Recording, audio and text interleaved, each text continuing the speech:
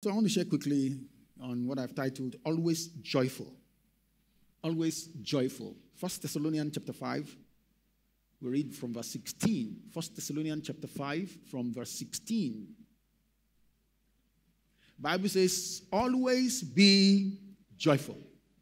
Never stop praying.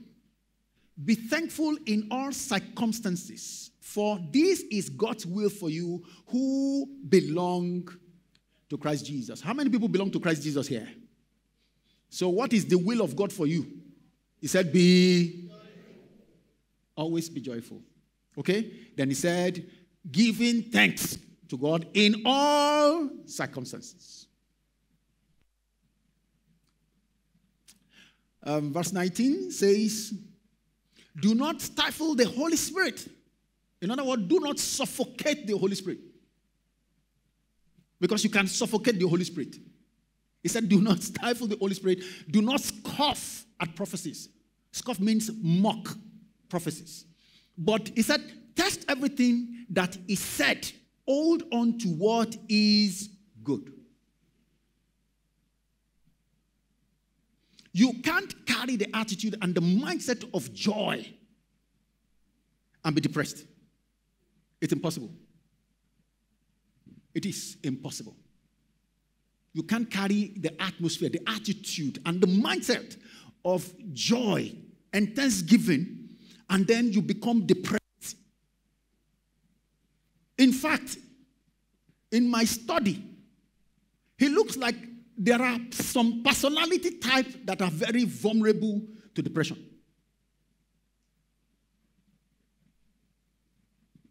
And oftentimes, like I always say, it's because you have not allowed the Holy Spirit to do the reprogramming of your temperament, of your personality. So Bible says, always be joyful. That is a command. That is an instruction. Always be joyful. It's compelling us to do something. Okay? To do something about being joyful. It's not saying be moved by the Spirit to be joyful. Mm-mm. Because most of the time we think that some of these responsibility are the Holy Spirit's job. No. He said, be joyful. And he didn't say that by the Spirit. He said, be joyful. So it's not the Holy Spirit that is moving you to be joyful. It's a decision you need to make. Is somebody listening to me? It's a decision you need to make.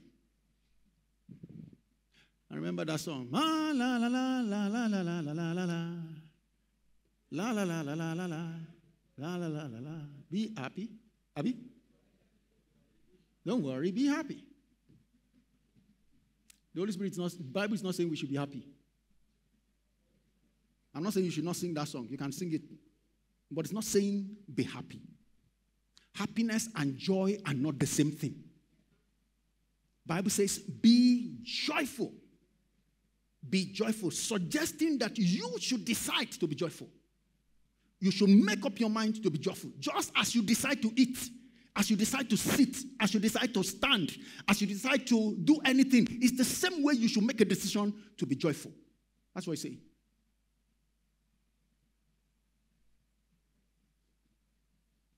So things may not go the way you expect. He said, make up your mind, look through it, and take a decision. Make a decision to do what? To be joyful.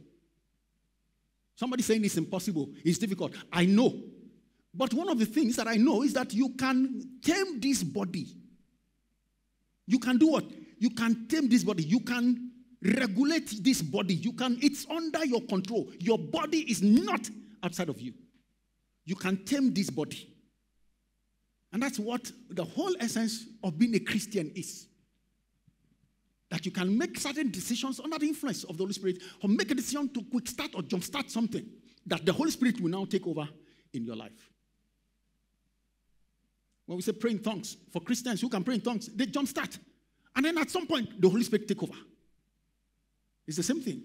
Be joyful. It's a decision that you need to make. You know, this is so very, very important because a child of God can have the Holy Spirit, super anointed, born again, sanctified, and still not joyful and be sad. Is somebody listening to? Can, can you imagine that? It's a possibility. And that's why there is a negative connotation to being an SU. When you see SU, it looks like some of them, not all of them, some of them, they, they tend to have a disposition that is not very pleasing. Am I correct? Some of us who were, who were, who were trying to who, who tried to connect with the SU when we were in school. I don't want to associate with them. They're always too sober. Some of them are cold. Some of them are unfriendly. And they say unequal yoking. Some of them are unhappy. But that's the limit to which they know. It's much more than that. You cannot be born again, be filled with the Holy Spirit, the spirit of excitement, and not be joyful. Is somebody listening to me? Very, very important. So that scripture says, Be joyful, never stop praying. Maybe I should add, never stop praying in tongues. Then be thankful in all circumstances. Not only in good circumstances, in all circumstances. Be thankful. Be thankful in all circumstances, for this is God's will for you who belong to Jesus Christ.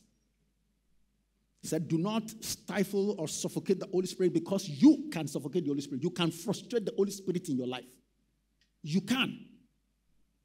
If you cannot, he will not say, Do not.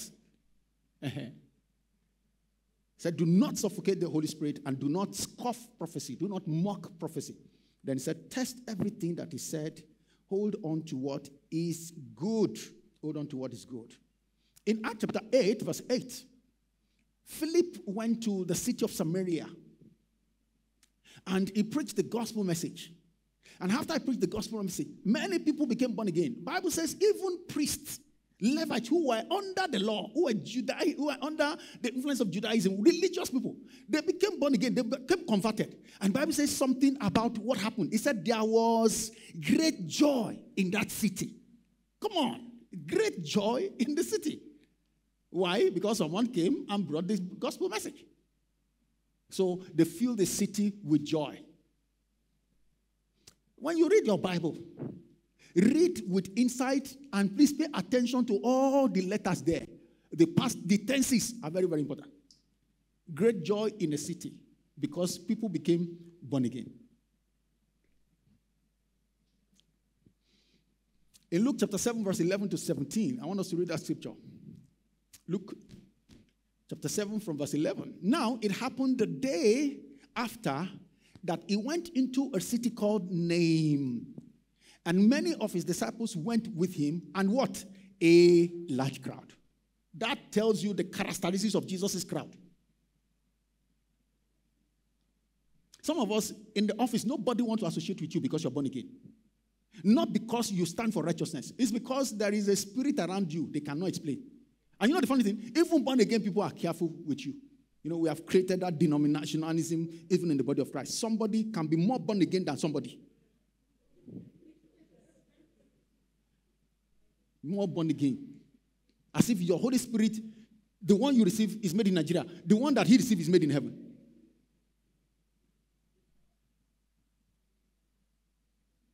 And when he came near the gate of the city, so Bible deliberately told us the kind of crowd. He said there was a large crowd that was following Jesus. What does Jesus' crowd look like? They were excited. Why? He's always doing miracle. And something was going to happen just now. Bible says, and from verse, um, is it 12? And when he came near the gate of the city, behold, a dead man was being carried out.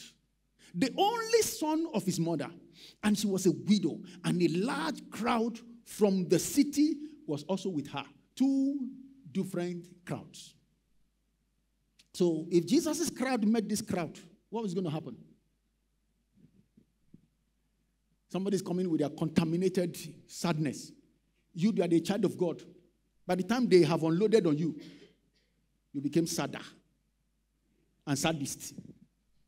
When you are supposed to infect them with your own joy. Is somebody listening to me?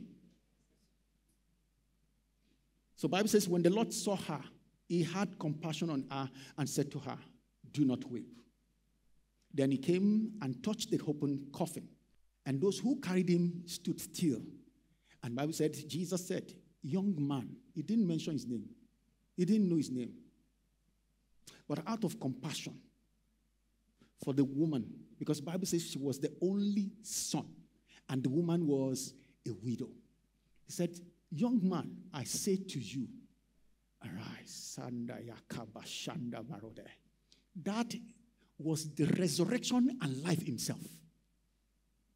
He said, Young man, I am resurrection and life. You may not believe in me because you are not even here. He didn't even come out. He said, Arise. See, anything dead in your life today, they come alive. Every opportunity that you felt that you have lost today, God is bringing them back. Any situation that you consider dead today, they are resurrected. In the mighty name of the Lord Jesus Christ. He said, Young man, arise. And Bible says, He who was dead, he did what? He sat up and then began to speak. And then Jesus did what? Presented him to his mother. Wow. Jesus presented him to his mother. What happened in verse 16? Bible says, Then the fear came upon all, and they did what? They glorified God, saying, A great prophet has risen among us, and God has visited his people. God has visited his people. And Bible says that this report um, about him went throughout all Judea and all the surrounding region. So when someone who is having an issue is going through an issue, even though you are going through your own, but because faith does not deny the facts, faith overrides the fact with the assurance and guarantee of God. It means that you subdue the facts. Hallelujah. You subdue the facts and you choose, you choose to celebrate God. Because in the first place, you can't do anything about the matter. He is the only one who can do something about the matter. What am I telling you? Being deliberate. Somebody listening to me. Being deliberate.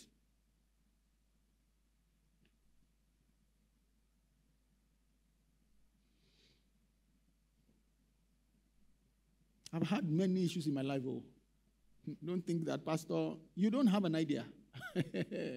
you know now.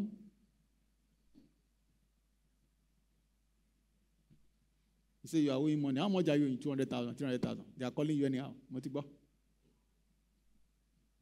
I will owe a lot of money. Millions. And that's just one of them. I've had issues where we're losing babies. All kinds, we have all, all kinds of issues. So your own is not the only one. And God has still been faithful all through the years. Is somebody listening to me? So when, when you overestimate your problem, you will underestimate God.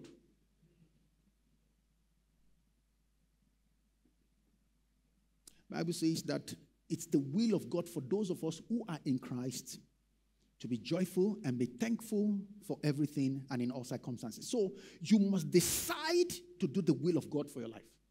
It's, it's the will of God. You must take decision to do the will of God. So he says to be joyful, not to be happy. Joy is what the Holy Spirit emphasizes. And joy is the product of the human spirit. And it's not based on events happening around you. It's not based on events. It is veiling the effects and screening it with the possibilities of God. That's joy. It is kickstarted by you, and the Holy Spirit takes over. Just in case you don't know, you you you kickstart it, you jumpstart it, and the Holy Spirit takes over from there. So joy it comes from a choice to trust God in spite of whatever is happening around you, to depend on His promises because you consider Him faithful. Joy is a deep commitment and assurance, a deep contentment and assurance that transcends your life's ups and downs. That is what joy is. So it is not a feeling. It's not a feeling. It's a state of mind. It's an attitude. It's a disposition. Okay? It's an attitude. It's a disposition. There are some people, there's nothing you say that will make them angry. There's a character in the movie, Me and My Wife, a series that we like to watch. You don't want to mention names. Wura.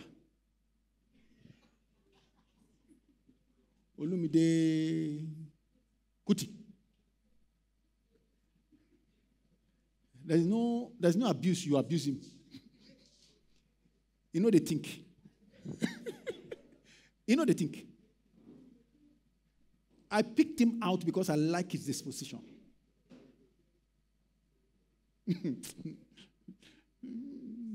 what is is I'm using it so that you can get it practically. All this thing I'm saying is uh, it looks some people it looks like it's far. It's not far.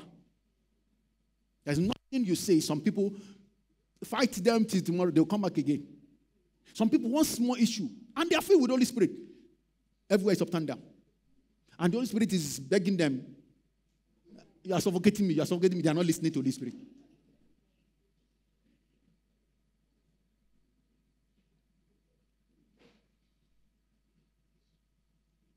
Joy is not based on what's happening in your life. It's a choice you make. It's a conviction that you have. It's a mindset, it's a disposition that you mind to, that you have. Happiness is fleeting, it's temporary, it's based on events, things happening around you now. I give you a gift, or you heard the news, you can be happy. That's happiness. Joy sometimes doesn't even have a reason. And people will be looking at you, what's wrong with you? They can't understand it. And that's why it's the lasting emotion that flows from deep within us and is very contagious. Very contagious. It can quickly spread among people, especially people who are discouraged. So Bible says, be joyful. Um, in Nehemiah chapter 8, verse 10, Bible says that the spirit, he said, the joy of the Lord. Can we put that scripture? He said, and he said to them, Go your way, eat the fat, drink the sweet, and send portions to those whom nothing is prepared, those who don't have. He said, For this day is holy to our Lord. Do not sorrow, for the joy of the Lord is your strength. That shall be your testimony in Jesus' name. Let me say something. I don't want to talk too much about it. We make decisions on three levels. You make decisions based on your flesh. You make decisions at your soul level, but you also make decisions at your spirit level. The flesh is reflex, is a reaction, is a reflex. You don't have to think about it. The soul is a response. You may think about it. The spirit is inspired, it's not the product of your mind. It comes from the inspiration that you download. Uh, I, I don't want to go into that conversation, but that's how we make decisions in life. Three levels of decisions the flesh level, the soul level, and the spirit level. So if I choose to have an affair now, it's based on my flesh. Abi? But it's also not based on flesh alone. Sometimes you think about it. Ah, this is your baby. What will happen? What will happen? But I'm a pastor. Yeah, but I ain't I'm telling you how people think. If you heard that I did something, I'm telling you how I made that decision. Sometimes some things just don't happen. I would have thought about it, reflected on it. It's the same level. That's how we make decisions. At the flesh level, because you want to gratify the flesh. At the soul level, because of experience, because of your belief, because of your values, because of you know some things that you're going through, and at your spirit level, the ultimate place to make decision is at the spirit level. Is somebody listening to me? So I can agree now when I go home and think about it, and I say no. Why? That is at the soul. I have thought about it. Reflex say, say yes. Some people don't know how to say no to anything in life. Everything, yes, yes, yes. It's because it's reactional, it's reflex. There's another level when you go home and reflect and think about it. Then you say, oh, weigh this option, or even consult. And you say, no, I, I won't make this decision. Then you can go back and say, no. See, when you say yes, you can still say no. The Oyinbo that made pencil is one that did eraser. Some of us are breaking the principles of law. You took a job from a customer I'm going to do it at 10 naira. Because price in Nigeria now is a wicked spirit. Just flowing anyhow. The price has changed. Instead of you to go back to your customer and say, I'm sorry, we need to renegotiate this price, you forced yourself to do it. Now you're not able to finish it. You now become sister devil. Because the person is now not happy with you. Why? You, you refuse to understand that you can always go back and renegotiate. Is somebody listening to me? If the price has changed, go back, plead with your customer and beg them. Sometimes it's the best thing to do than for you to set yourself up, do something, and then halfway you get stuck. You are not able to finish the job. There are people, I know they are not in WhiteOlive. Cannot be here. The customer has just been with you for four months. They're not picking the call. I'm sure they're not here. Am I correct? They're not here.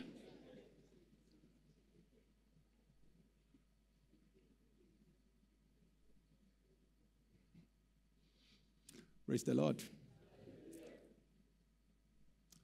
Our time is fast spent. So, what does it mean to give thanks? To give thanks means to show gratitude and appreciation. That's what it means to say thank you. It's to show appreciation and gratitude. But in my study of Jesus, the way Jesus gave thanks, it's much more than that. You know, there's so many treasures hidden in the Bible. I've told you before that the Bible contains information, the Bible contains fact, but the Bible also contains truth. Truth is the ultimate. And all truth must lead to Christ. But some people just do the information. Tells you about David, tells you how he reigned, tells you about the women in his life, tells you about his children. But there's also facts in the Bible. These things are facts. Today, if you go to Israel, you will see those facts. But there's the ultimate one, which is what? The truth. It just depends on which one you are looking for in the Bible. And when you come across truth, that is the revelation. That's the revelation. And God can choose, okay, to open scriptures to you and you see it in a different light. And not that you just take information or, sorry, inspiration like that. You are supposed to practice it. See, that is the ultimate destination that you put the word of God to use, to test in your life. Is somebody listening to me? That's the ultimate. So, how did Jesus give thanks? Let me show you some things. Matthew 26, 26, amplified. I'm going to use amplified all through. Matthew 26, 26. The Bible says, Now, as they were eating, Jesus took bread and praising God, gave thanks and asked him to bless it to their use. And when he had broken it, he gave it to the disciples and said, Take, eat. This is my body. Now, let's look at that same scripture in New King James Version. Let's look at that same scripture in New King James Version, NKJV. Bible says, as they were eating, Jesus took bread and did what? Blessed and broke. He blessed and broke. So, what does it mean to bless? It means that because what Amplified class is doing is not saying something new, it's only amplifying. Okay? So it's just like this thing is amplifying my voice. Okay? That's what Amplified Version does. It amplifies what is being said. So New King James Version says, as they were eating, Jesus took bread, blessed, and broke it, and gave it to disciples. Now, let's go back to Amplified Version. What did Amplified Version say? Said, as they were eating, Jesus took bread and praising God, did what? Give thanks. And asked him to do what? To bless, to bless it, their use. Hmm. Mark chapter 6, verse 41. Amplified Classic. Mark 6, 41. And taking the five loaves and two fishes, he was going to feed a thousand, 10,000 plus people. Because the Bible says only men were documented as 5,000. Okay? So there were women and children who you know are most likely to be more than men. So Bible says that in taking the five loaves and two fishes, he looked up to the heaven and praising God, gave thanks and broke the loaves. Again, he looked up to heaven, he praised God, gave thanks before he broke. Last reference, Mark chapter 8, verse 6. Mark 8 6, Amplified Classic. And he commanded the multitude to recline upon the ground, and he took the seven loaves of bread, and having given thanks, Now, this is seven loaves. It's different from the first one, five loaves and two fishes. This is the different one. It says seven loaves um, of bread, and having given thanks, he broke them and kept on giving them to his disciples. So when Bible says that Jesus took bread and blessed it, there was something was doing. That bless means that he was giving thanks and he was doing what? Praising God. Whatever he said, okay, literally means that he was praising God. He was giving praise to God. He was raising thanksgiving unto God. Five loaves and two fishes are not enough to feed thousands of people. You would think that Jesus will complain. Jesus will grumble, just like we complain when things are not enough or we don't even have it. Bible says, what did Jesus do? He did what? He gave thanks. He blessed God. Somebody say, How can you bless God? You can bless God. And that's the meaning. Blessing God is giving him thanks and praise. Bless you, Lord. you think that it's God that should bless you. You can minister to God. That's what it means. It's ministering to God. When you hear blessing God, he blessed God and he ministered to him. So you have to learn to bless God with your heart and from your heart, with your mouth, from your heart and your spirit. Apostle, Paul, Apostle James said something in James chapter 3. Uh, let's focus on chapter, um, verse, verse 10. Because if you read that chapter 3, he was talking about the taming of the tongue, what we use our tongue to say. But in verse 10, he says, Out of the same mouth proceed blessings and cursing. My brethren, these things ought not to be so. Does a spring send forth fresh water and bitter water from the same opening or from the same source? He said, Can a fig tree, my brethren, bear olives? No, fig tree will always give birth, I mean, will always bear fig fruit, abi? Or grapevine, does it bring forth figs? First, no spring yields both salt, water, and fresh. So it's telling us that your mouth too should be used to bless God. Don't use it to curse. Don't use it to gumble. Don't use it to murmur and complain. After all, Bible says that we are God's temple. We are God's temple. So there's a reason why we bless God and honor Him and give Him praise for all the things that He has done in our lives. In 1 Corinthians chapter 3, let me round up, verse 16 to 7. He said, Do you not know that you are the temple of God? 1 Corinthians 3, 16 and 7. You are the temple of God, and the Spirit of God dwells in you. If anyone defies that temple of God, God will do what? God will destroy. So sometimes the reason why people go through something, it looks like we are, we are the one destroying the temple of God, and God is dealing with us. Said, Whoever defies the temple of God, God will do what? God will destroy. God will destroy. So, what Apostle Paul says here, Apostle Peter confirmed in 1 Peter chapter 2, verse 5. 1 Peter chapter 2, verse 5. What did he say? He said, You also, as living stones, are being built up a spiritual house, a holy priesthood to offer up spiritual sacrifices acceptable to God through Christ Jesus. Hallelujah. So Bible says that we are living stone. I have shared with you before. When people offer sacrifices, they often kill the animal before they set it on fire, before it gets born to God. When Bible says we are living sacrifices, Romans 12, chapter, uh, verse 1, it said that, brethren, that you offer yourself as living sacrifice unto God.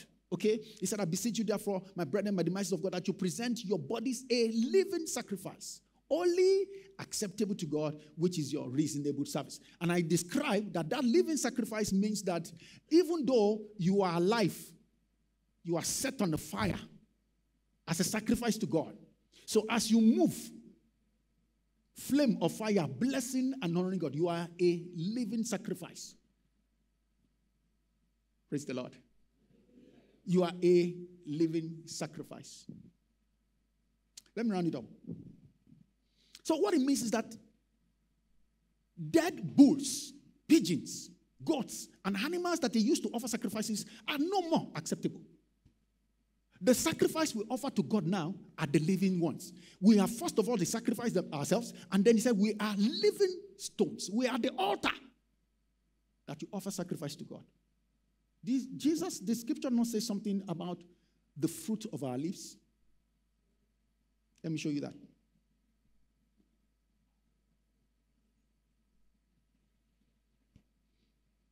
Oh, hallelujah.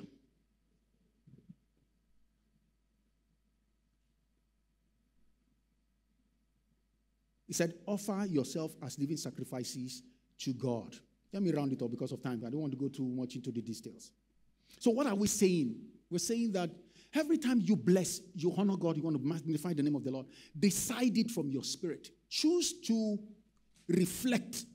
It may not be moved by the spirit, but make a decision to say, Father, I bless you. Lord, I honor you. For those who are close to me, when I get up or I'm going to do something, Lord Jesus, I bless your name. I give you thanks. It's always breaking forth out of my mouth.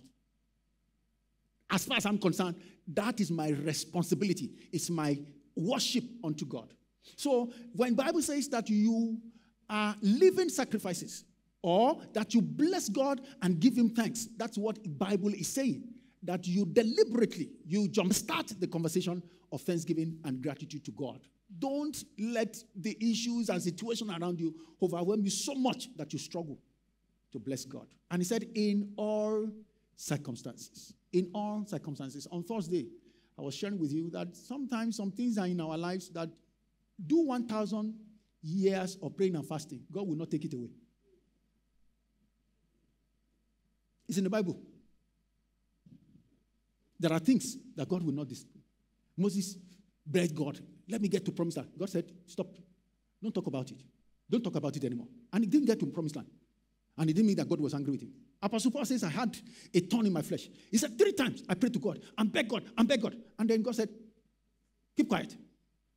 My grace is made sufficient in your weakness. So sometimes when you see a Christian who has been trusting God for fruit of womb for many years, and it's not, it's not that God is not answering them. God has taken a decision. He may do it later, he may not do it later. He doesn't mean that God hates them or God is not God. Is somebody listening to me? Understand the will of God for that matter. There was no prayer. Jesus was going to pray. He was going to die. They say you are going to die. You say you don't want to die. Were you not born to die? He, he, he was going to die. He went into the and, at some point he came to that conclusion. He said, Lord, your will, not my will. Not your will. And that should be the ultimate destination and decision of every child of God. I pray that the will of God will come to pass in your life in the name of Jesus. Amen. When I pray that kind of prayer, please remember what is the will of God? He may be good by our own estimation, he may not be good by our own estimation. But if it's the will of God, I pray that the will of God be done in your life in the mighty name of Jesus. You know, when you explain will like that, the amen will not be like before. They saw a a man that was blind from birth. And they asked Jesus, who sinned? Because the human expectation is that somebody sinned. That was why I went through that experience. And Jesus said, nobody sinned. Yeah, yeah, people. That's not how to think. He said, so that the he said God will be glorified in his life. In other words, my estimation is that Jesus will have the opportunity of opening his eyes and God will be glorified. Very important. Very important. So when we give thanks, we are confessing to God's greatness, to His goodness, to His faithfulness, to His kindness, to His love, and His blessings in our lives. And it has to be something that is continuous. Don't do it only on Sundays, don't do it only during Thanksgiving. Make it a lifestyle. Because that is what they used to do in the Old Testament. Pastors, I mean, priests will always worship God. There's always a flame in the tabernacle that doesn't go out. There's always a flame. There are people permanently stationed, okay, just to be a blessing to God. Remember the tabernacle that Jesus, I mean, that David set up. I mentioned it to you. The tabernacle that his own tabernacle was Thanksgiving tabernacle. There was another one where they were doing remission of sin and doing all this. But that's the particular one that David set up. And the only thing priests are doing there is just to bless God. Deliberately created to have people perpetually 24 7 magnifying the name of God. What kind of a man is that? He understood God He understood God. So, from the depth of your spirit, thanksgiving will always be going to God. I thought you would say amen. amen. Even when you are not conscious, even when you are sleeping, thanksgiving will always be going out to God in the mighty name of Jesus. Amen. Finally, I call it practice of righteousness. I've told you before. Practice it, do it, try it this week. Before you say, Oh, Ori Olori aye. Before you say, eh, caution yourself. Practice it. After a while, it becomes part of you. Okay? We call it practice of righteousness. Romans chapter 3, chapter 11, verse 36 as a roundup. Romans chapter 11, verse 36, Amplified Version. He said, For, I want us to read it together. One to go. For from him and through him and to him are all things. For all things originate with him and come from him. All things live through him, and all things center in and tend to consummate and to end in him. To him be glory forever and ever. Amen. I thought your amen would be louder. Amen. That's a correct estimation of who God is. For me to live is Christ. If I die, it's gain. Praise the Lord. So this week, Thanksgiving will proceed from your spirit. And as you give him praise and bless his name, situations and circumstances will give way. In the marvelous name of the Lord Jesus Christ. Can we bow our heads as we pray? Hallelujah. I want you to ask, Lord, I receive grace. I receive grace and capacity to offer myself as a living sacrifice. Henceforth, thanksgiving will proceed from my spirit. Thanksgiving will proceed from my heart. If you joined us online, uh, you can get your communion material now. It's time for us to partake of the communion. Masotel barashe, rede kambalote zapralia, yevete manosombrali kevoshetele braduya. Father, today we are living sacrifices. Oh, we are living sacrifices unto God. We are living stones set up to give Him thanks, to honor His name, to bless His name, to magnify the name of the Lord, and exalt His name forever. Matevra shendalia, re barodoshe manoso, rovi lakanda labradoshe, yeke Thank you, Father. We bless your name today. In Jesus' mighty name we pray. Before we partake of the communion, is there anyone who wants to make a decision for Jesus? You have not started a relationship with Jesus, you are not born again. Whether you are here or you're connecting with us online, uh, you have an opportunity to make that decision um, for Christ today. If you're not born again and you would like to make that decision, then please put one hand in your chest and leave the other hand. In fact, you shouldn't partake of the communion if you're not born again. It's dangerous. You shouldn't if you're not born again. So if you want to make a decision for Jesus, all eyes closed and all eyes bowed, let's pray. Let's trust God for our brothers and our sisters to make this decision. Right? So if you want, that, you want to make that decision, can you put one hand on your chest and leave the other hand? And please say this prayer with me, whether you are here or join us online. Father, in the name of Jesus, I come to you today. I ask that you come and be my Lord and my Savior. I believe that Jesus is your son and that Jesus died for me, and on the third day, you raised him from the dead. I accept him as my Lord and Savior, and I ask that you will come and fill me with your spirit and with your presence. I renounce Satan and his works. I receive Jesus as my Lord and Savior. In Jesus' name. Amen. Let me pray for you. Father, for your sons and daughters who are making this decision, we receive them in the beloved today and we declare that your power rests upon them in the mighty name of the Lord Jesus Christ. Today, they're translated from the kingdom of darkness into the kingdom of light, and I declare the power of heaven rest upon their lives in the mighty name of the Lord Jesus. Thank you, faithful Father. In Jesus' mighty name, we pray. Amen. If you made a decision that Usher gave you a card, please fill the card and leave it on your seat, or you give it to any of our officials after now. We'd like to help you um, be established in faith. Okay, if you made a decision online, there's a link you can click right now that will help us capture your data so that we can send you materials that will help you in this new beautiful decision that you made in the name of Jesus. all, all right, can we all stretch for our hands towards the communion? Ask the Lord as I partake of your body today, your life is infused into me. Your power takes over from now on. I am filled with the life of God. I am filled with the fullness of God. Jesus says, If you do not eat my flesh and drink my blood, you do not have my life inside of you. He said, Whoever eats my flesh and drinks my blood has my life inside of him. He said, For my flesh is meat indeed, and my blood is drink indeed.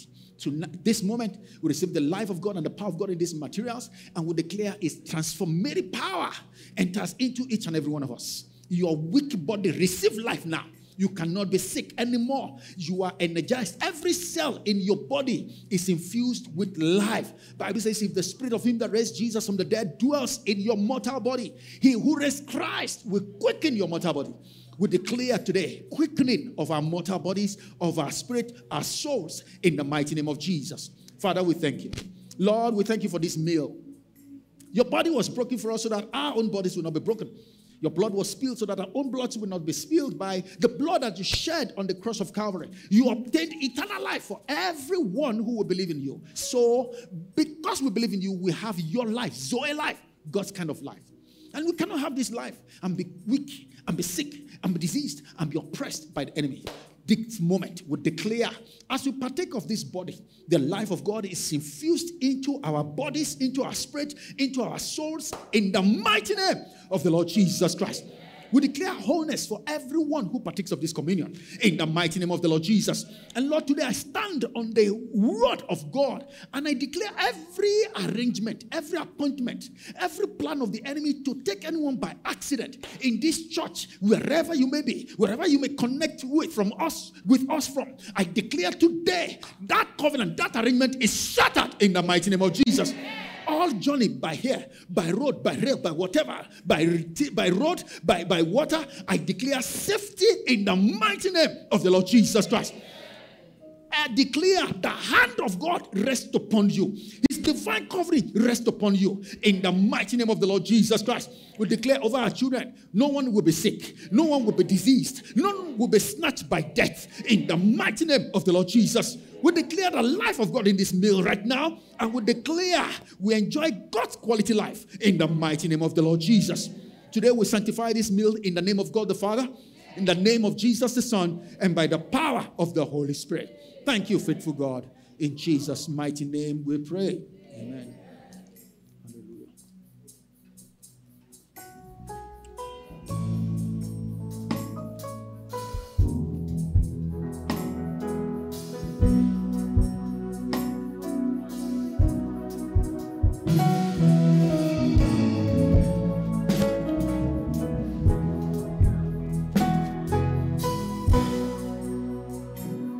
Right, so the hymn is on the screen. Alone, it's also in your WhatsApp channel. My hope is found. He is my light, my strength, my song.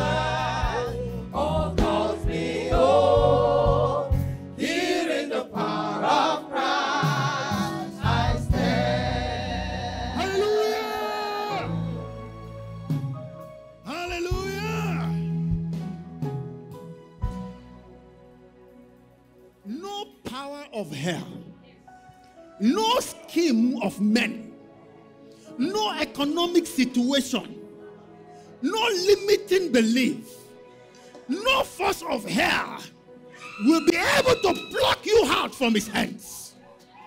He said, till he returns or he calls us home. Hallelujah. Here in the power of Christ we stand. That shall be your testimony in Jesus' name. No power of the enemy will be able to overtake you. You will walk in victory. You walk in sound health. You walk in sound mind. In the mighty name of the Lord Jesus Christ. Two days ago, the Holy Spirit gave me this prophecy and asked me to prophesy it over your life. Joshua chapter 21, from verse 3, verse 43. He said, So the Lord gave to Israel all the land which he has sworn to give to their fathers, and they took possession of it and dwell in it. Joshua 21, from verse 43. So the Lord gave to Israel all the land which he has sworn to give to their fathers. Every promise that God has given you, whether this year or years in the past, every prophecy, every word of covenant, every word of promise that God has given you, I declare today they happen in your life in the name of Jesus. God will bring them to pass in your life in the name of Jesus Christ. Bible says, and they took possession of it and dwell in it. You take possession in the name of Jesus Christ. You take possession of all his blessings in the name of Jesus Christ. And not only that, you will enjoy them. I say you will enjoy them in the mighty name of the Lord Jesus Christ. Verse 44, Bible says the Lord gave them rest all around. I say, enter your season of rest. Round about you, rest in the name of Jesus Christ.